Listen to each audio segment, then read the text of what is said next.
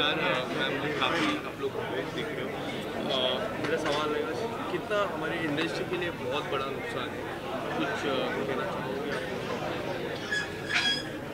राजू जी, अपने आप में एक बहुत बड़ा इंस्टीट्यूशन थे तो उनसे काफ़ी सीखा है सबने बहुत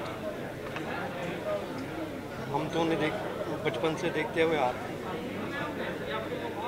जी मतलब राजू जी, हमने जब शुरुआत की अपने करियर की तो उन्हीं को देख के शुरुआत करी और जैसे सुरेंद्र पाजी है, इन्होंने तो पहले शो से लेके लास्ट शो तक और लाइव शो मतलब काफ़ी फॉर्चुनेटली काम करने को मिला राजू जी के साथ और बहुत सीखने को मिला।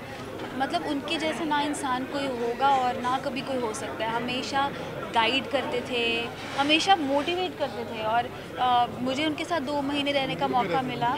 जी हम लोग टूर पे गए थे। तो मैंने उनको एज पर्सन भी जाना तो हमेशा हँसते रहना मैंने कभी गुस्सा होते देखा ही नहीं उनको। और आज मतलब वो हँसी देकर ही गए हम सबको। उनकी हँसी हमेशा हमारे साथ रहेगी और लास्ट बार आप लोग की कब बातचीत हुई? हम लोग अभी मिले थे दो महीने पुलिस फ़ंक्शन में। लास्ट मंथ मुंबई पुलिस का इवेंट था तो हम मिले थे उनसे। फिर कुछ भी वॉइस नोट भेजना कुछ होता था कोई कॉमेडी क्लिप है तो शेयर करना फिर उस पर हँसते रहना बिल्कुल। शादी के बाद सुधर जाएगा।